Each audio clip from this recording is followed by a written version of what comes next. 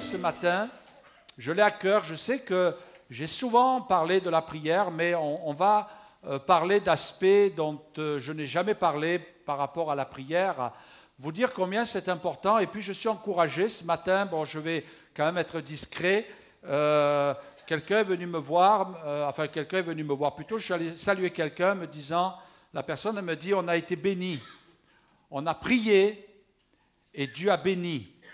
Et alors j'ai demandé euh, dans quoi Elle me dit c'est au niveau professionnel. Professionnel, la, personne avait perdu son emploi. Elle avait perdu son emploi et on sait aujourd'hui que le chômage, c'est un cancer dans notre société. Est-ce qu'on est, d'accord avec ça? Il est plus facile aujourd'hui de régler certains problèmes de santé que de régler des problèmes de chômage.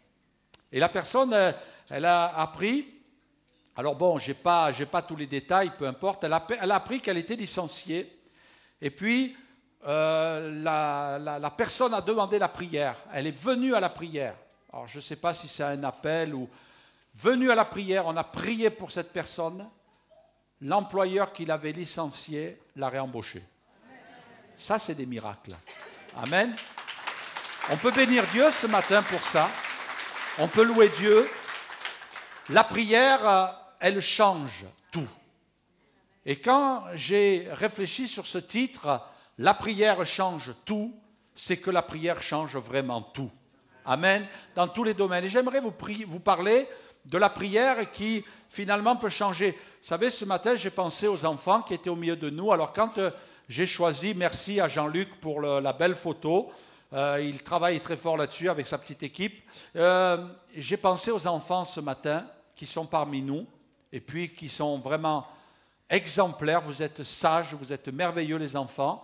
Et puis j'ai voulu euh, mettre cette photo parce que la prière, elle change tout. Elle change euh, même lorsqu'un enfant prie. Et quelquefois même, euh, c'est bon quand les enfants prient, parce que le Seigneur nous demande d'avoir le cœur d'un enfant. Pourquoi? Parce que le cœur d'un enfant, c'est un cœur qui est, qui est simple, et puis qui, qui croit, qui croit simplement et puis le Seigneur nous dit de devenir comme des petits-enfants, parce que quand euh, on a le cœur de l'enfant, on est, on est comme euh, disposé à voir Dieu se manifester. La prière, c'est la respiration du chrétien. On ne peut pas s'en passer. La prière, c'est ce qui va donner de la force à notre vie spirituelle. On ne peut pas vivre sans prier. Il n'y a pas de développement spirituel sans prière. Le jour où vous arrêtez de prier, c'est comme le jour où vous arrêterez de respirer. La mort va venir vous faucher. Et la mort spirituelle peut nous faucher parce qu'on n'est pas euh, renouvelé dans la prière. La prière est la base de tout. Elle est au démarrage de tout. D'ailleurs, euh, j'ai pris euh, volontairement l'exemple du livre des actes des apôtres pour vous parler de la prière parce que le livre des actes des apôtres nous montre le début, la naissance de l'Église, comment elle est née, comment elle s'est développée, comment elle s'est accrue, comment elle a fait face aux difficultés. Puis on s'aperçoit que dans le livre des actes des apôtres, un livre que je crois chaque chrétien aime, parce que c'est non seulement il y a de l'enseignement, non seulement il y a la pratique de la vie chrétienne, mais on est aussi devant euh, un livre d'aventure, ah, je ne sais pas comment vous lisez la Bible.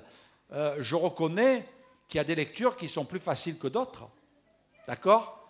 Quand vous arrivez dans des livres où il y a toutes sortes de noms qui sont décrits, c'est pas évident à lire. Par contre, quand vous lisez des livres d'aventure, des livres d'histoire comme, euh, je ne sais pas, le livre des rois, le livre des chroniques, le livre de Samuel. Ah, il y a de l'action, il, y a, du combat. Et puis quand vous lisez le livre des actes des apôtres, ah, c'est l'Église en plein mouvement dans la pratique, les chrétiens. Et puis là, vous dites, ah, c'est merveilleux. Et puis en même temps, vous recevez un enseignement. Vous avez la pratique, vous avez la théorie, vous avez la pratique, vous avez l'enseignement et vous avez la piété chrétienne. Première des choses que je voudrais dire ce matin, c'est que l'Église, elle est née dans la prière. Elle est née dans la prière. On va lire ensemble dans Actes chapitre 1, verset 12. Actes chapitre 1, verset 12.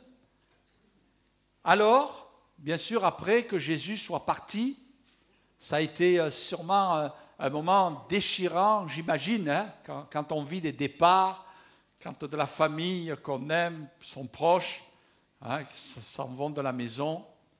Euh, ça, déchire le cœur. Et là, Jésus est parti dans le ciel. Et puis là, celui qu'ils avaient vu, ils ne le voient plus. Alors, ils retournèrent à Jérusalem, de la montagne appelée des Oliviers, qui est près de Jérusalem, à la distance d'un chemin de sabbat. Quand ils furent arrivés, ils montèrent dans la chambre haute où ils se tenaient d'ordinaire. C'était Pierre, Jean, Jacques, André, Philippe, Thomas, Barthélemy, Matthieu, Jacques, fils d'Alphée, Simon le Zélote et Jude, fils de Jacques, tous d'un commun accord, notez bien, tous d'un commun accord persévéraient dans la prière, avec les femmes et Marie, mère de Jésus, et avec les frères de Jésus.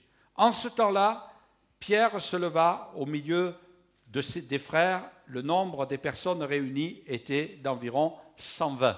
Amen. 120 dans la chambre haute. 120, c'était les premiers chrétiens avec les apôtres qui étaient là. Et ils étaient réunis. J'essaie de m'imaginer un petit peu la scène là, dans, cette. Ils ont dû, excusez l'expression, ils ont dû un petit peu se trouver un petit peu idiots par moment, en disant Bon, euh, qu'est-ce qu'on fait là euh, Et puis peut-être il y a quelqu'un qui a dit euh, Je ne sais pas, peut-être un apôtre, il a dû dire ah ben, On va prier, on ne sait pas, on ne sait pas. Le Seigneur nous a dit de rester à Jérusalem et d'attendre, d'attendre le Saint-Esprit. Comment ça va se passer? Ils ne savaient rien. Parce que nous encore, quand on dit tu vas recevoir le baptême du Saint-Esprit, on a quand même quelques, textes dans la Bible qui nous expliquent ça. Là, ils ne savaient rien, ils ne connaissaient pas, ils n'avaient jamais euh, vu euh, ou, voir la manifestation du Saint-Esprit. Non, non, ils n'avaient jamais vu ça. Et puis là, ils se sont mis à prier, ils se sont mis à prier, à prier. Ça a duré dix jours voyez, ils se séparaient le soir, ils disaient, bon, il n'y a pas grand-chose qui s'est passé. Et puis on imagine aussi qu'ils devaient prier à la manière un petit peu juive, vous savez, c'est-à-dire religieuse. Ils n'avaient pas encore la dynamique de l'esprit, ils n'avaient pas encore euh, la dynamique de la foi, surtout que juste la croix venait de passer, Jésus était ressuscité, Certes, ils avaient vu Jésus partir sur des nuées du ciel, mais ils étaient quand même dans, euh, encore en attente, voyez-vous. C'était encore la période charnière. Ils ne savaient pas trop ce qui allait se passer. Et puis ils se sont réunis et ils ont prié. Ils ont prié. Ils ont prié. Je ne sais pas, quelquefois on, prie. Euh, je me suis fait cette réflexion ce matin. J'étais dans mon bureau tôt ce matin et puis euh, je priais et je disais dans mon cœur, euh, tiens, il y a des moments où on sent quelque chose de, plus fort quand on prie. Mais je sentais que j'étais dans un moment de combat, comme si, comme si autour de moi j'étais entouré de glaçons, comme si autour de moi il y avait des murs qui étaient là pour empêcher ma prière de monter. Et puis, je, bien sûr, on a de l'expérience dans le ministère, on a de l'expérience dans la prière. Et puis je me disais, non, mais tu pries ce matin, non pas parce que tu ressens, mais tu pries par la foi. Amen. Et j'imagine là que, que le premier jour où ils se sont réunis, ça devrait être un climat un petit peu froid. Il devait y avoir peut-être de l'opposition, de l'adversité. Vous savez, quand le diable sent qu'il y a une bénédiction qui arrive, il essaie de vous entourer de, blocs de glaçons à côté, et ce n'est pas forcément mauvais. Il y a des fois des chrétiens, ils me disent, pasteur, j'ai senti que ma prière, elle n'a pas dépassé le plafond. Ça, c'est ton impression. Mais quelquefois, c'est souvent dans la prière du combat, qu'on vit les plus grandes bénédictions. Il ne faut pas se décourager, parce que la prière, elle ne monte pas vers Dieu au travers de sensations, elle monte vers Dieu avec foi. Amen. Il faut être dans la foi, même si tu sens, tu ressens rien, même si tu, tu, tu, cherches tes mots, même si tu es là, tu dis, mais Seigneur, je ne sais pas quoi dire. Eh bien, ce n'est pas forcé que ta prière est inefficace. L'Église, elle est née dans la prière. C'est là, ils sont là en train de prier. Certes, euh, c'est sûrement un climat qui n'est pas encore rempli du Saint-Esprit, mais ils prient. Et ils ne se découragent pas. Oh, ils n'ont pas dit, oh, ça fait trois jours quand même, Jésus est ressuscité trois jours après, donc on va arrêter au bout de trois jours, hein, d'accord? Après chacun chez soi. Non, non, ils ont persévéré. Jésus leur avait dit de rester là à Jérusalem et d'attendre, alors ils attendaient. Et peut-être même qu'il y a des moments, ils priaient, et puis il y avait des silences, et puis... Euh, se dire, bon, là aujourd'hui, hein, ben, la réunion de prière, ça a été plutôt un peu creux. Hein. Mais tout était compté dans le ciel. l'Église, elle a démarré dans la prière. Et c'est dans la prière qu'on démarre. On démarre. C'est dans la prière qu'on donne euh, de l'impulsion à notre vie chrétienne. Et puis, euh, au bout euh, d'un moment, quand ils ont, ils ont prié, le Saint-Esprit est descendu. Et puis, il y a eu une manifestation hein, sans précédent. Manifestation puissante. Et je dirais même que c'est une manifestation sans précédent, mais qui ne s'est pas produite souvent par la suite. C'est vrai qu'il y a eu des choses dans les témoignages extraordinaires, dans la vie, dans la puissance Saint-Esprit. Là, la Bible dit qu'il y a eu du vent qui a soufflé dans la pièce où ils étaient. Alors, c'est impressionnant. Hein. En principe, le vent, il souffle dehors. Et puis, ils ont vu des, des, des, des, flammes qui sont descendues, qui se sont posées sur chacun. Waouh Impressionnant, vous imaginez? Hein? le, feu de l'Esprit qui descend comme ça. Et puis là, ils, se sont, ils ont été saisis par l'Esprit de Dieu, ils se sont mis à parler des langues qu'ils ne connaissaient pas, toutes sortes de langues. Hein. Le signe du baptême du Saint-Esprit, c'est le parler en langue. C'est quand on parle en langue. Et puis, il faut laisser jaillir hein, la vie de l'Esprit. L'Église, elle est née, elle est née dans la prière, et le Saint-Esprit est venu dans la prière. Amen. Peut-être que tu, cherches à naître de nouveau, mets-toi à genoux, entre dans ta chambre, mets-toi à genoux et prie. Prie. Tu sais pas prier, ça fait rien, mets-toi à genoux. Un jour, il y a quelqu'un qui avait lu ce passage Ouvre ta bouche et je la remplirai. Alors, vous ce qu'il a fait? Il est allé prier et il a ouvert la bouche. Et il a dit ben, Dieu va la remplir. Ben, il était simple quelque part. Il a dit Ouvre ta bouche et je la remplirai. Alors, il ne savait pas quoi dire, alors il a ouvert la bouche. Ah, il ressemblait plus à un poisson, vous savez. Mais euh, euh, résultat, euh, il, a, fait ça simplement. Il y, a, il y, a, des gens qui ont fait des choses un petit peu surprenantes, mais ils les ont faites de tout leur cœur. Entre dans ta chambre et mets-toi à genoux. Parce que la prière, c'est une, attitude de cœur aussi. Ce n'est pas forcément de parler, de parler, de parler. Les gens qui pensent que c'est au kilomètre de mots qui vont être exaucés. Mais la prière, c'est parler à Dieu, mais c'est aussi écouter. Quelqu'un disait que la prière, ce n'était pas un monologue, c'était un dialogue. Il faut qu'il y ait quelqu'un en face. Et puis Dieu nous parle dans la prière. Moi, je bénis Dieu pour euh, ces moments où Dieu me parle. Quelque temps, euh, depuis quelque temps, nous, nous, réunissons à raison à peu près d'une fois ou deux par mois avec euh, ceux qui prêchent la parole. Et puis, je leur dis souvent, je dis, quand vous voulez que Dieu vous donne un message, allez le chercher dans le cœur de Dieu, le message. N'essayez pas forcément de, chercher quelque chose qui, ah, il est, c'est bien là, je vais, je vais provoquer euh, de l'étonnement dans l'Église. Ce n'est pas le but. Le but, c'est d'aller chercher dans le cœur de Dieu. Et puis, je leur disais, allez chercher dans le cœur de Dieu le message par le moyen de la prière. Combien de fois Oh, pour ne pas dire chaque fois. C'est dans un, contexte de prière que le Seigneur me met à cœur des messages et que je suis convaincu que par ce moyen-là, eh bien, je vais pouvoir euh, euh, apporter quelque chose qui va correspondre aux besoins de quelqu'un. C'est l'Église, elle est née dans la prière. Elle est née dans la prière. Et elle s'est développée dans la prière. N'oublie pas que tu es né dans la prière. Est-ce que tu te rappelles, pour ceux qui sont convertis et baptisés depuis quelque temps, Combien de temps tu passais dans la prière? Réunions auxquelles tu allais pour prier? Aujourd'hui, notre programme, euh, il, euh, euh, il s'est un petit peu réduit. Mais ce n'est pas parce que notre programme s'est réduit qu'il faut que nous soyons des chrétiens qui n'ont à leur programme de leur vie d'église que le dimanche matin. Pas normal. C'est pas normal. Les premiers chrétiens, ils ont commencé, avant de commencer à faire des cultes, ils ont commencé à faire des réunions de prière. Est-ce qu'on réalise ça? On bénit le Seigneur pour les, les maisons qui se sont ouvertes et puis c'est une bénédiction de recevoir un temps de prière chez soi, d'avoir un groupe de maisons, de prier et puis vraiment on, vous remercie et puis le Seigneur vous bénit, c'est un privilège que vous avez.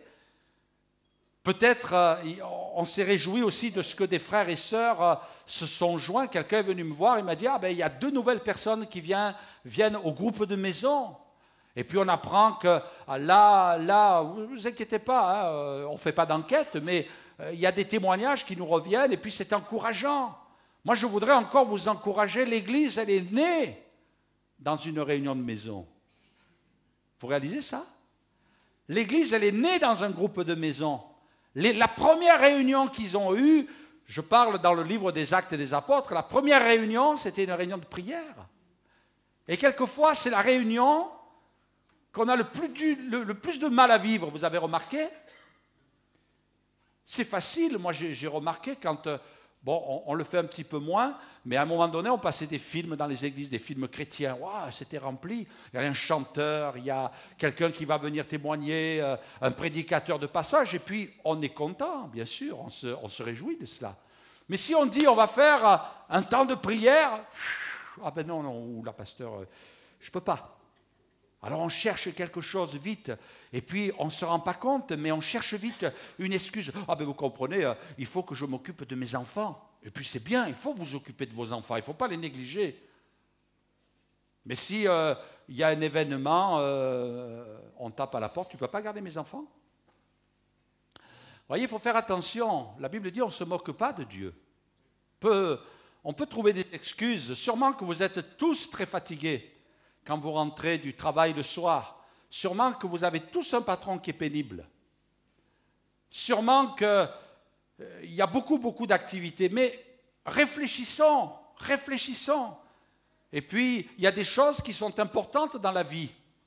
Mais tu ne peux pas te développer, tu ne peux pas grandir, tu ne peux pas progresser. L'Église ne peut pas grandir s'il n'y a pas la prière.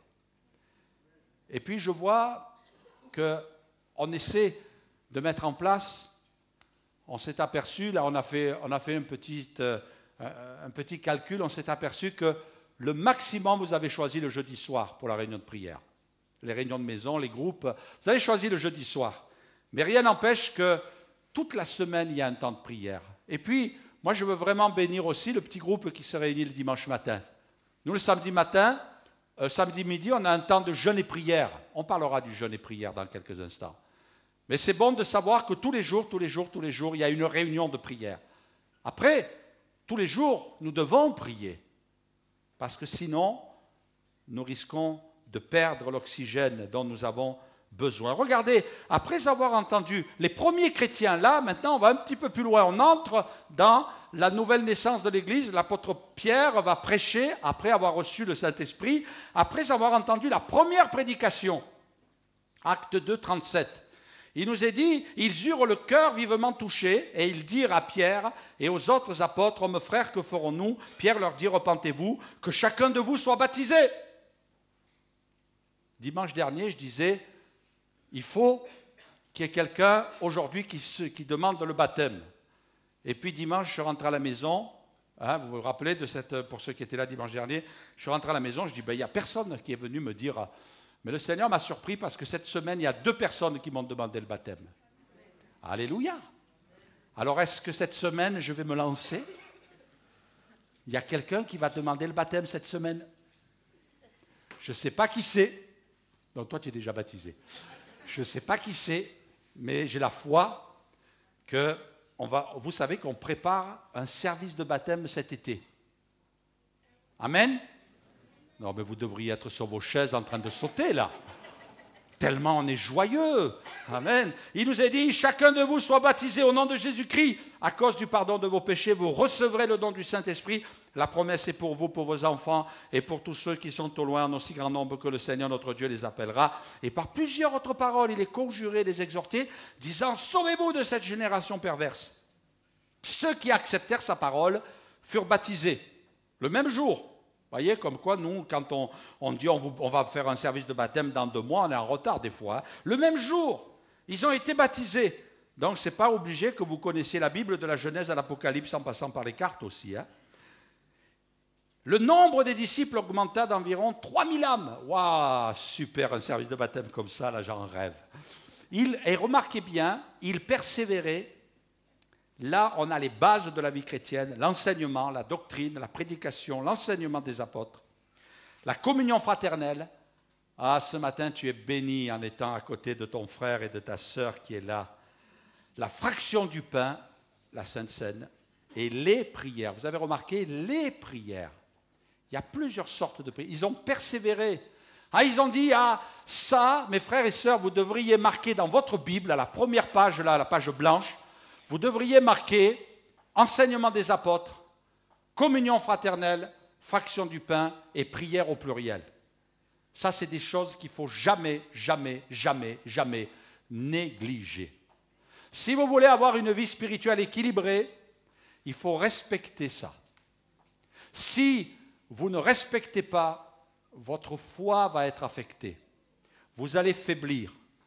Et vous savez, un jour, j'ai entendu un don spirituel qui m'a fait frémir. C'était euh, dans l'église où je suis né spirituellement. Donc, euh, soyez rassurés, ce n'était pas ici. J'ai entendu un don spirituel que j'ai jamais oublié. J'étais tout jeune. J'étais sur le point d'entrer dans le ministère. Ce don spirituel disait parce que tu n'as pas su travailler avec Dieu, maintenant tu vas travailler contre Dieu. Wouh Je me suis dit, oula, là, vous savez, si on ne respecte pas les bases nécessaires pour que notre foi soit équilibrée, notre vie chrétienne soit équilibrée, après avoir travaillé avec Dieu, on peut courir le risque de travailler contre Dieu. Et là, je peux vous le démontrer avec une multitude de textes dans la Bible, en passant par toute l'histoire des pharisiens qui ont persécuté Jésus. Ceux qui ont fait le plus de mal à Jésus, ce sont les religieux. Et on peut sombrer, devenir des religions. Et peut-être je vais vous décevoir, peut-être même vous allez vous plaindre, mais même dans nos églises, il y a des religieux. Ben oui, je dis non, hein, je n'ai pas dit notre nos églises. Il y a des religieux. Et il ne faut pas devenir comme ça. Et le seul moyen de ne pas devenir comme ça, je persévère, je persévère dans l'enseignement, je reçois l'enseignement, je reçois l'enseignement par la parole de Dieu, par la prédication, par l'étude. Est-ce que, mes frères et sœurs, est-ce que vous avez passé ce cap à faire des études de la Bible, vous? Mais pas arrivé Je me rappelle, il y avait ce jeune chrétien, il était content. Il dit quand, je suis là dans mon bureau, euh, même s'il n'en avait pas besoin, il ouvrait plein de livres. Il mettait le dictionnaire biblique, l'encyclopédie biblique, les livres sur la doctrine. Il mettait tous ces livres, même s'il n'en lisait qu'un, il les mettait tous ouverts. Et il ouvrait sa Bible au milieu, là, et il avait tous ces livres comme ça. Et il dit, je suis content. Il était tout content d'avoir tous ces livres ouverts. Bon, euh, il dit, a au moins passe du temps à les lire, peut-être il y a de bonnes choses, mais c'est très important. Moi, je sais que je n'ai pas eu le privilège de faire des écoles bibliques, mais je me suis formé, essayé d'étudier par moi-même l'enseignement. Est-ce que tu, es là dans l'enseignement? La communion fraternelle, ah, c'est bon la communion fraternelle. Ouais, mais il y a des frères et sœurs, ils sont pénibles, mais il y en a partout. Il y en a partout. Eh oui. Et puis, c'est comme ça. L'être humain, ce n'est pas toujours facile. Des caractères différents, des horizons différents, des cultures différentes. Mais le Seigneur dit la, communion fraternelle, c'est une bénédiction. Parce que là où deux ou trois sont assemblés à mon nom, je suis au milieu. Amen. Et puis la fraction du pain. Ah, c'est vrai, peut-être vous allez dire, ah, pasteur, euh, hein, du pain, prendre euh, un petit morceau de pain, prendre une petite coupe là. Ben oui, mais le Seigneur a dit, faites-le, en mémoire de moi. Toutes les fois que vous prendrez ce pain, toutes les fois que vous burez, vous boirez ce vin, vous annoncez la mort du Seigneur jusqu'à ce qu'il vienne. On annonce la mort, la résurrection du Seigneur, et on annonce le retour de Jésus. Et mes frères et sœurs, cet acte est un acte spirituel qui a, qui a un impact dans votre vie. Il ne faut pas négliger ça, jamais négliger ça. Et puis, les prières, les prières. Pas la petite prière, voilà. Non, il y a plusieurs sortes de prières. Il y a la prière qu'on peut faire à table. Merci Seigneur pour ce repas. Prière de reconnaissance. Prière de gratitude. Action de grâce. On peut prier aussi le matin. Seigneur, tu me bénis pour cette journée, j'ai besoin de toi, garde-moi. Tu vois, mon patron, il est pénible, Seigneur, je ne veux pas lui imposer les mains. Seigneur, tu vois, j'ai un défi aujourd'hui, je vais rencontrer un client qui n'est pas facile, tu vas m'aider. Seigneur, mais tu m'aides aussi que je sois un témoin, mets quelqu'un sur ma route. Ah, je suis impressionné. Quand euh, je prie, je dis Seigneur, je te prie aujourd'hui, mets quelqu'un sur ma route. Le Seigneur met des gens sur notre route à qui on peut parler. Garde-moi fidèle, je sois un bon témoin, que l'Esprit de Dieu m'accompagne. Voyez, on prie. Et puis il y a la prière collective dans l'Église. Est-ce que tu as inclus ça? Quelquefois, il y a rencontre des chrétiens me disent mais je prie pas. Oh, mais si tu n'es pas mort, ça va pas tarder. Attention, très important. Et puis il y a la prière du dimanche matin, qui est la louange, l'adoration. quand le pasteur il est là en train de dire ah, on va ouvrir nos bouches, on va célébrer le Seigneur. Ouais, mais bon, il faut le faire. Il faut le faire. C'est une bénédiction. Ils persévéraient. Ils ont dit ça, il faut tenir bon. C'est tellement important. La naissance de l'Église. J'aimerais vous parler maintenant des lieux qui tremblent quand l'Église prie. Il est dit dans Actes chapitre 4 verset 31, quand ils eurent prié, le lieu où ils étaient assemblés trembla, et ils furent tous remplis du Saint-Esprit, et ils annonçaient la parole de Dieu avec assurance. Je remets dans le contexte, ils avaient, euh, euh, Pierre et Jean avaient été malmenés par le tribunal religieux qui s'appelle le Sanhédrin, parce qu'ils prêchaient Jésus, hein, parce qu'ils annonçaient Jésus, parce qu'ils priaient pour les malades. Il y avait eu un beau miracle qui s'était fait, de toute façon, tous les miracles sont beaux, et là, c'est un homme qui était le boiteux du temple. Il est appelé le boiteux du temple. Il se mettait tous les jours là, devant la porte du temple, il mendiait. Et Pierre et Jean sont passés. Cet homme demandait l'aumône et ils ont dit Nous, on n'a ni argent ni or. Hein. Et puis, au nom de Jésus, lève-toi et marche. Et puis, ils l'ont aidé, ils l'ont relevé. Et puis, cet homme s'est levé. Ses chevilles sont redevenues fermes. Il a pu marcher. Et la Bible dit qu'il sautait et il louait Dieu tellement il était heureux du miracle qu'il avait expérimenté. Et puis les religieux de l'époque ont malmené Pierre et Jean. Et puis euh, les chrétiens euh, euh, ont su qu'il y avait de l'opposition. C'était la première opposition qu'ils rencontraient, mais ce n'était pas la dernière. Et finalement, il faut, intégrer, dans notre, vie chrétienne, il faut intégrer que la vie chrétienne, il y a un combat. Ouais, c'est un combat de tous les jours. Il faut se tenir éveillé, il faut, il faut veiller, il faut prier. le Seigneur l'a dit, voyez, veillez, priez afin que vous ne tombiez dans la tentation. Il faut avoir une vie de prière. Et puis, euh, là, ils ont parlé de leur combat, de leurs difficultés. Qu'est-ce qu'ils ont fait? Les premiers chrétiens, ils se sont mis à prier. Et ils ont dit, Seigneur, vois leurs menaces, parce qu'on les avait menacés. On avait dit à Pierre et Jean, on vous interdit de parler au nom de Jésus, on vous interdit de prêcher, on vous interdit de prier. Et eux, ils ont dit, non, non, nous, vous pouvez nous interdire ce que vous voulez, mais là, ça ne marchera pas.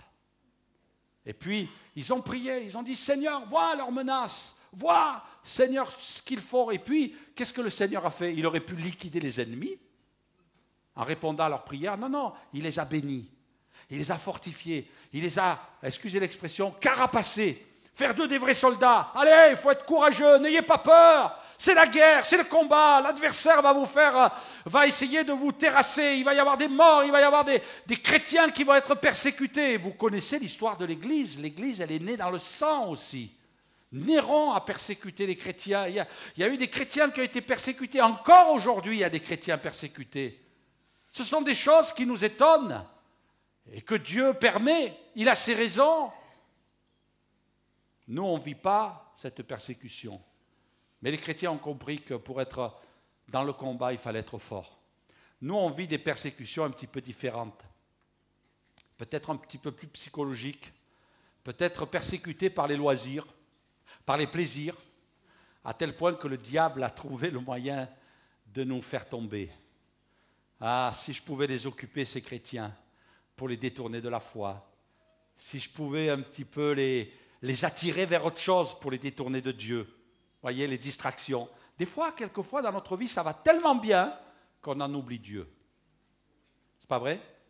On est tellement dans le confort qu'on en oublie Dieu. L'autre jour, on parlait je parlais avec ma femme et je disais,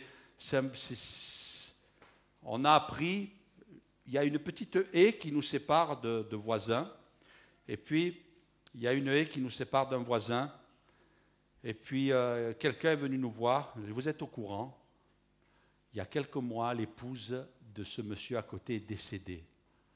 Ah, ça m'a mis un coup. Alors que c'est vrai, l'hiver, on a tendance un petit peu à se calfeutrer dans la maison. L'été, on sort un petit peu les, les chaises, les tables, on mange. Euh, voilà, et puis on entend toujours un petit voisin à côté qui parle, euh, le mari qui est en train d'hurler sur sa femme, euh, la femme qui est en train de répondre à son mari. je ne vous dis pas les mots. Mais l'hiver, on a tendance un petit peu, on, s'isole un peu. Et, au fond de moi, je me suis dit, mais c'est terrible. Et avec ma femme, on s'apprête, on veut y aller, on attend le, moment, on ne veut pas arriver. Mais on s'apprête tous les deux à aller voir ce voisin, dire, je vous présente nos condoléances, excusez-nous, euh, la chose, bon, c'est eux qui volontairement l'ont caché, il n'y a rien qui a été su. Ils ont voulu cacher tout ça. Mais euh, dire, on n'est quand même pas des, animaux parqués dans des cages. On est des humains. C'est notre siècle aujourd'hui, ça. C'est le siècle dans lequel on est. le, diable nous a isolés. Un jour, il y a, un pasteur étranger, venait d'Amérique du Nord, il me dit, mais c'est quoi vos maisons en France? Je dis, qu'est-ce qu'elles ont nos maisons en France? T'es pas content, tu retournes dans ton pays. Oh. Alors, il me dit, euh, il me dit, vos maisons, elles sont pas bien. Je dis, pourquoi? Qu'est-ce qu'il y a? Il me dit, de partout, il y a des haies, il y a des, des comment on appelle ça? Des, barrières, des barricades. Il dit, dans mon pays, ça n'existe pas. Et vous regardez peut-être, euh, on voit peut-être dans des films à la télévision, c'est vrai que les Américains, ils ont des, des, jardins qui sont... Euh, il n'y a rien devant. Et vous voyez la maison, et il dit, mais c'est quoi Vous cachez là? Vous avez peur de quoi? Hein? Oui, c'est vrai, on se cache. Et moi, ça m'a tellement choqué, c'est ce que j'ai fait. Il y avait une haie avec mon voisin, j'ai tout coupé. J'ai tout coupé. Et puis on est devenus amis. Ouais, on est devenus amis. Ouais, ouais, ouais. On les a invités chez nous, ils sont venus boire euh, un petit, un petit apéro avec quelques petits biscuits. On est allé chez eux. Je dis, vous sortez les biscuits aussi. Hein a sorti les biscuits. Vous coupez une haie, vous avez des biscuits. Essayez, essayez. Voilà, tous les chrétiens, ils vont sortir la tronçonneuse. Hein? Bon, coupez la haie si elle est à vous. Si elle est au voisin, vous n'avez pas le droit. Attention. Oui, mais c'est vrai. Vous avez remarqué comment on est construit? Mais le Seigneur nous invite à être de ceux qui prient. Je me rappelle euh, ce pasteur, euh, j'ai eu l'occasion de, l'écouter à plusieurs reprises, Jim Simbala, je vais vous montrer sa photo, si on peut. Jim Simbala, dans son église, il y a un couple chrétien, ils ne sont pas là ce matin, mais ils y ont été la, semaine dernière, ils ont été à Brooklyn, euh, à, New York, quartier de Brooklyn. Cet homme-là, c'était un joueur de basket, avant quand il était tout jeune. Hein. Et puis, il, voulait, il voulait aller dans ce sport. Et puis, un jour, euh, il a senti que Dieu l'orientait dans le service. Et il s'est trouvé dans le ministère pastoral.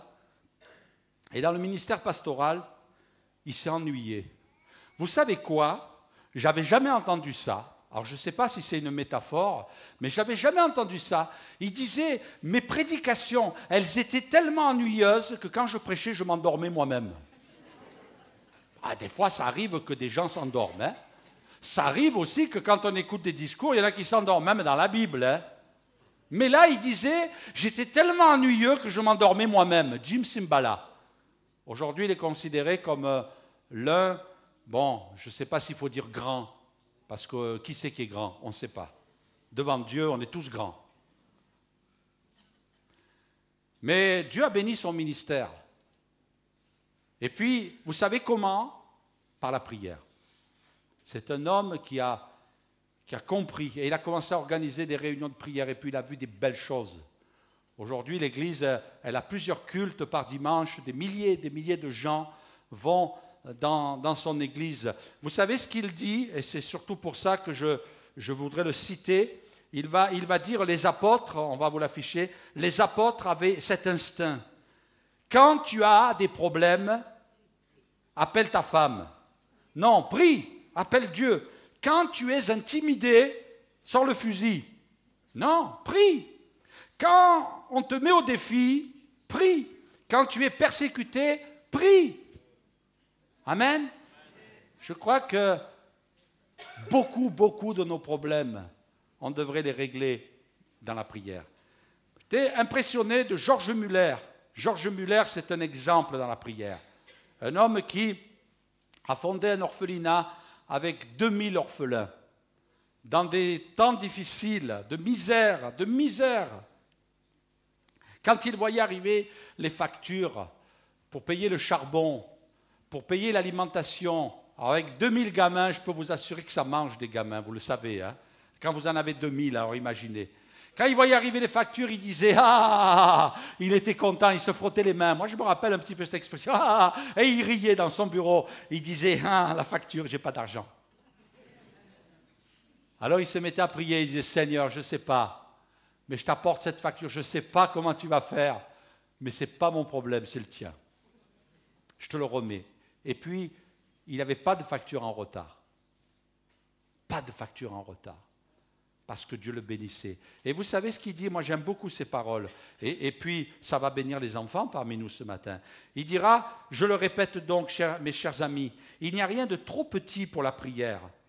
Dans les choses les plus simples de notre vie journalière, prions.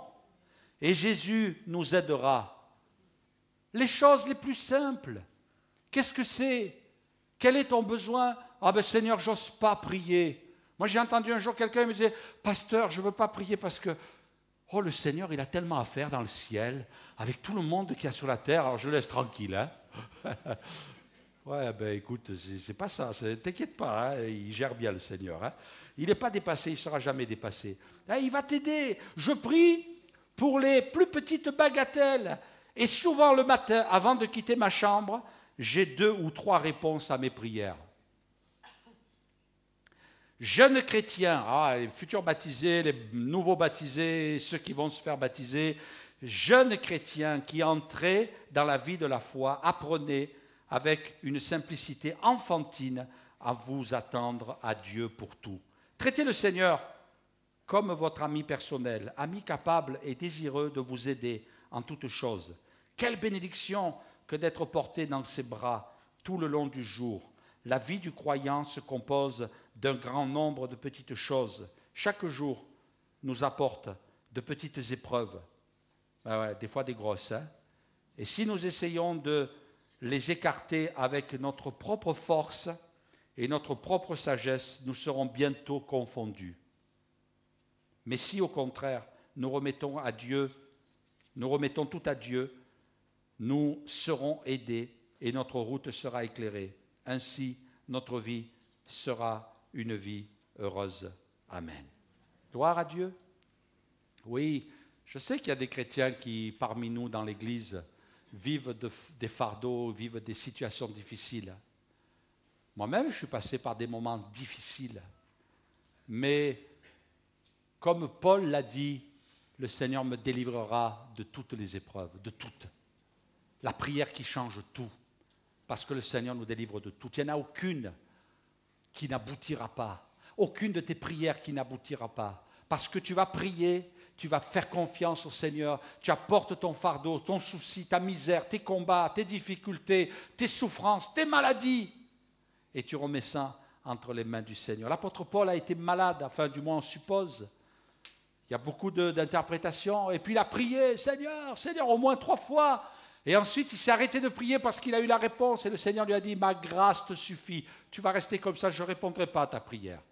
Et puis alors, il n'a plus rien dit. Parce que la puissance de Dieu va, s'accomplir dans ta faiblesse, au travers de ta faiblesse. Et alors là, il s'est arrêté de prier. T'arrêtes pas de prier tant que tu n'as pas la réponse. Soit par l'exaucement, soit parce que le Seigneur te dit non, là, cette situation, je veux qu'elle reste comme ça. Alors fais confiance. Fais confiance. Tout est entre ses mains. Amen. Je me rappelle, il y a un pasteur qui a été une bénédiction, je l'ai écouté, j'ai été à son bénéfice. Eh bien, il s'est retrouvé sur son lit de mort. Vous savez ce qu'il a fait? Il, est, il a convoqué le pasteur de l'église, il était sur son lit de mort. Il a convoqué le pasteur de l'église, il dit, pasteur, viens ici. Le pasteur est venu le voir. il lui a dit, tu vas, faire, tu vas adresser un message à l'église. C'était une église dans laquelle il avait travaillé comme pasteur. Il dit, tu vas aller voir l'église, tu le dis, moi je ne peux pas y aller sur, sur mon lit. Tu vas dire à l'église de ma part d'arrêter de prier pour moi, pour ma santé, parce que je veux partir. Et à cause de leur prière, je suis cloué dans mon lit. Moi, je suis prêt à partir vers le Seigneur. Vous imaginez? Moi, en principe, je dis aux chrétiens, priez. priez, priez. Et là, il fait passer un message en disant, arrêtez de prier pour moi, je veux partir. Et puis le pasteur est arrivé, il a dit à l'église le dimanche matin, a dit, écoutez, voilà, le pasteur Roux, parce que c'était son nom, le pasteur Roux m'a dit que vous arrêtiez de prier pour lui parce qu'il veut partir dans la gloire. Les chrétiens se sont arrêtés de prier dans la semaine qui a suivi, il est dans la gloire. Pas beau ça? Moi, ça m'avait marqué. Hein? Amen. Moi, je ne vais pas prier pour que vous partiez dans la gloire. Hein je vais prier pour que vous restiez un peu là. On a besoin de vous encore. Hein ah, eh oui, oui. Seigneur est fidèle. Et puis, laissez-moi terminer avec euh, cette euh, dernière pensée. Il y avait dans l'église d'Antioche des prophètes et des docteurs Barnabas, Siméon, appelé Niger, Lysus de Cyrène, Manaën, qui avait été élevé avec Hérode, Hérode le tétrarque et Saul, pendant qu'ils servaient le Seigneur dans leur ministère et qu'ils jeûnaient. Le Saint-Esprit dit, mettez-moi à part Barnabas et Saul pour l'œuvre à laquelle je les ai appelés. Alors, après avoir jeûné et prié, ils leur imposèrent les mains et les laissèrent partir. Barnabas et Saul, envoyés par le Saint-Esprit, descendirent en Séleucie, et de là, ils s'embarquèrent pour l'île de Chypre. Amen.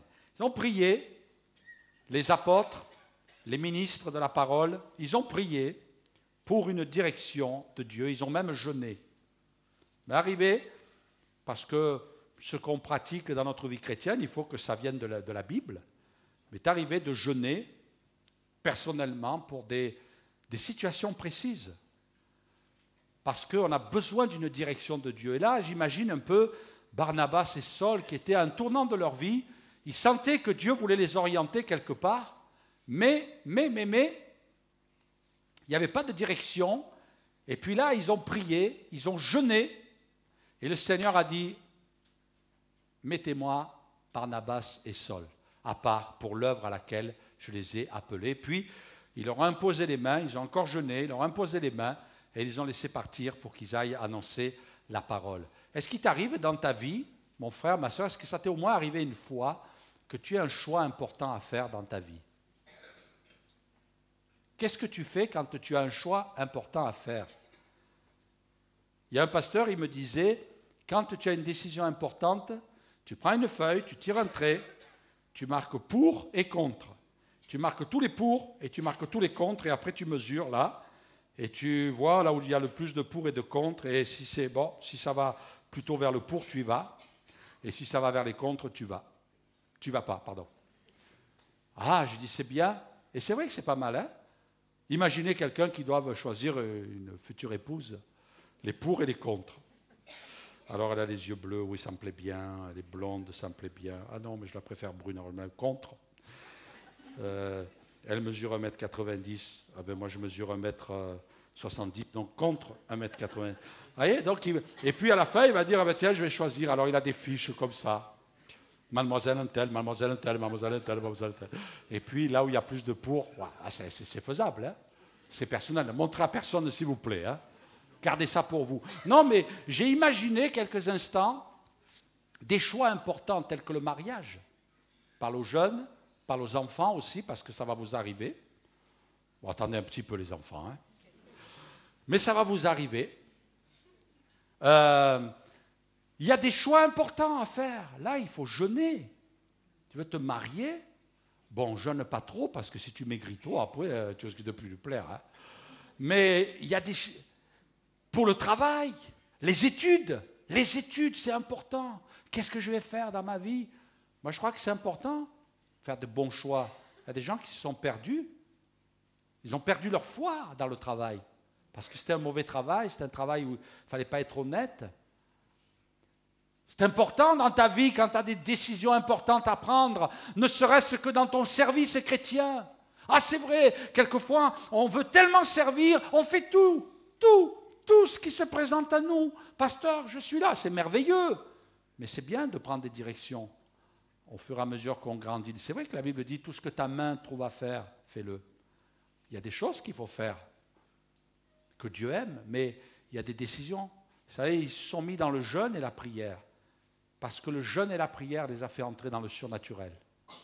Il y a des moments où on a besoin d'entrer dans le surnaturel, parce que le naturel ne peut pas régler. Il y a trop de dégâts sur cette terre, il y a trop de misère, il y a trop de souffrance, il y a trop de gens qui sont dans l'échec, il y a trop de gens qui sont euh, dans la misère et dans la souffrance.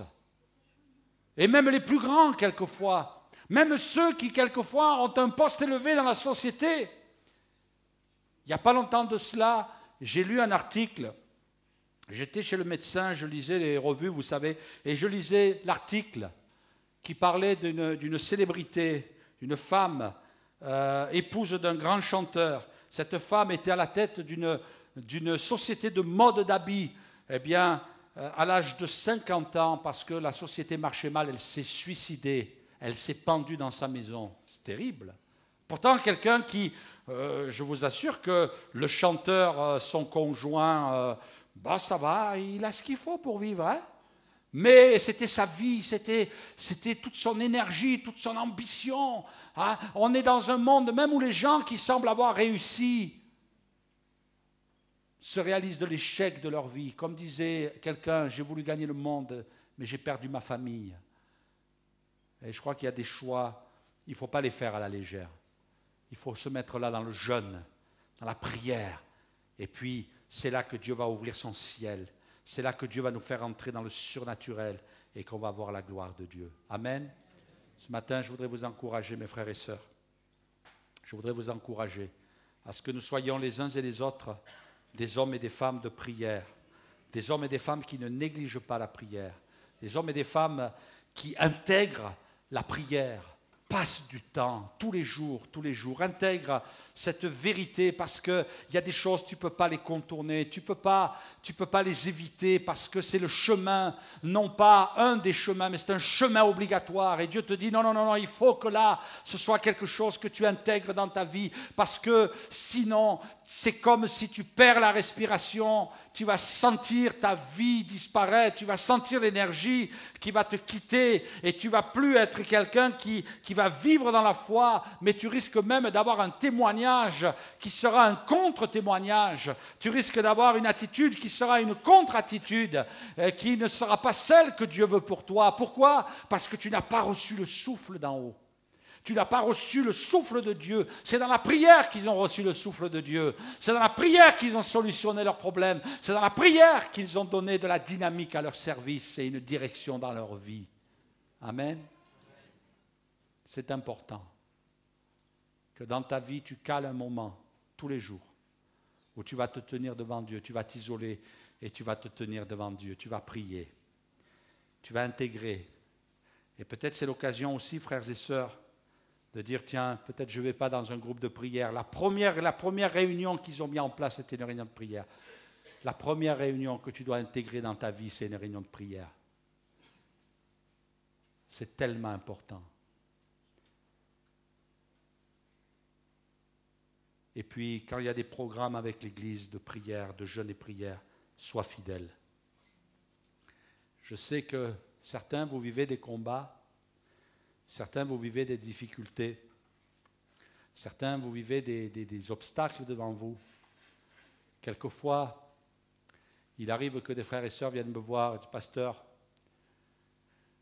voilà la situation, voilà la difficulté par laquelle je passe ou par laquelle je suis passé, ou on ne peut pas tout savoir. Hein. Et puis vous l'avez gardé discrètement pour des raisons précises. Quelquefois, des gens viennent me voir, pasteur, faut qu'on prie ensemble et c'est bien mais c'est ta prière aussi qui compte. Parce que le pasteur, il ne peut pas solutionner. Le pasteur, il est là pour t'amener vers des endroits où il y a de verts pâturages, où il y a des eaux paisibles. Mais le pasteur, il ne peut pas aller faire la cueillette pour toi. Prendre de l'herbe, t'ouvrir la bouche et te mettre l'herbe à l'intérieur. Et un petit peu d'eau aussi. En disant, ça va? Tu as eu ton biberon ce matin? Ça bien? Ah bien, tu peux revenir dimanche prochain C'est pas ça un pasteur. Je crois que quelquefois les gens se trompent, ils pensent que le pasteur c'est quelqu'un qui est là, qui prend brebis après brebis et met le biberon là. Non, non, c'est pas ça. Un pasteur, il dit aux gens voilà, l'herbe elle est là-bas, l'eau fraîche elle est là-bas, et c'est à vous à y aller.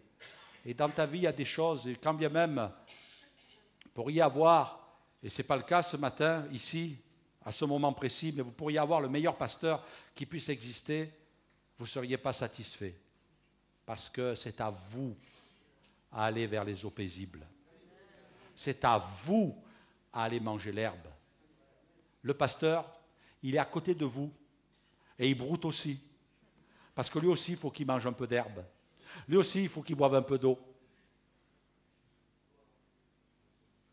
Il y a des choses dans ta vie, tu ne les verras jamais. Et peut-être tu es là, tu dis oui, mais l'Église, euh, aujourd'hui c'est la mode, il faut changer d'église, changer de pasteur. Et il y a des gens, vous savez, ils ressemblent à des, moi je les appelle des chrétiens, vous savez, qui sont en orbite. Ils gravitent. Mais ce n'est pas ça que Dieu veut. Ah, ils se disent, il faut, il faut essayer de faire ci, il faut essayer de faire là. C'est vrai, on peut toujours faire mieux. Et puis c'est bien qu'on fasse mieux. Mais si toi, tu n'es pas capable d'aller manger ton herbe et d'aller boire ton eau, alors tu vas perdre l'oxygène. Tu vas perdre la vie. Tu vas perdre le contact. Tu vas perdre la relation. Tu vas perdre la communion. Et ta vie spirituelle va sombrer. tu vas devenir un religieux qui va tous les dimanches matins fidèlement à son culte, mais un bon religieux.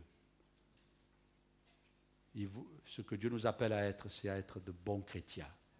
Amen. Et que le Seigneur puisse nous bénir les uns et les autres. On va prier ensemble.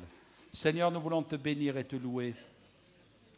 Nous voulons te célébrer, Seigneur, de tout notre cœur, te dire merci parce que tu es celui, Seigneur, qui veut nous aider Seigneur, les temps que nous vivons sont des temps où nous voyons le diable voler les heures, voler les minutes. Seigneur, euh, que nous devrions te consacrer. Seigneur, on ne veut pas devenir euh, un monument. On ne veut pas devenir euh, une église de religieux. Ne veut pas devenir, Seigneur, des gens qui sont morts, qui ont perdu l'oxygène.